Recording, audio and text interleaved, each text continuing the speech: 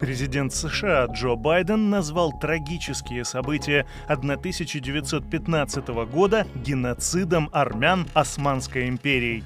Но этот нарратив полностью опровергается документами и событиями конца той эпохи. В чем причина враждебного шага со стороны США и администрации нынешнего президента? Видео, на котором Байден обсуждает внутреннюю политику Турции, стало известно во время его избирательной кампании в прошлом году. Заметить неприязнь было несложно, как и планы Байдена по разжиганию внутренних разногласий, использованию фактора курдского меньшинства и подрыву суверенитета Турции, хотя и не путем переворота. Большое спасибо за этот комментарий о перевороте, Джо. Это действительно дорогого стоит.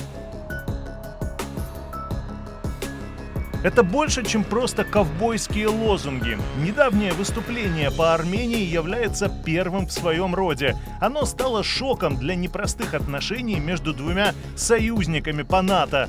Во многом это результат деятельности армянских групп влияния в США, лоббистов в Палате представителей, Сенате и в администрации Байдена Харрис. Армянский национальный комитет Америки Армянская ассамблея Америки и Организация в защиту христиан – все они оказывают давление на политиков, особенно на западном побережье, и добиваются признания геноцида армян.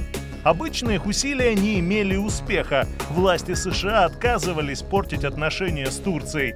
Но на этот раз использовались дополнительные рычаги влияния, особенно когда речь идет о вице-президенте Камале Харрис. Вот ее фото из Армянского национального комитета Америки.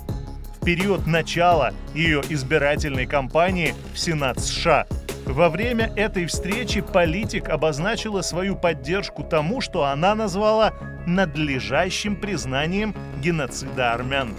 Причина в том, что армянские избиратели играли важную роль на выборах, которые Харрис хотела выиграть. И вы понимаете, как это происходит в политике. Ты мне, я тебе. При этом Анка обвиняется в США в нарушениях правового статуса благотворительной организации и деятельности по заказу правительства Армении.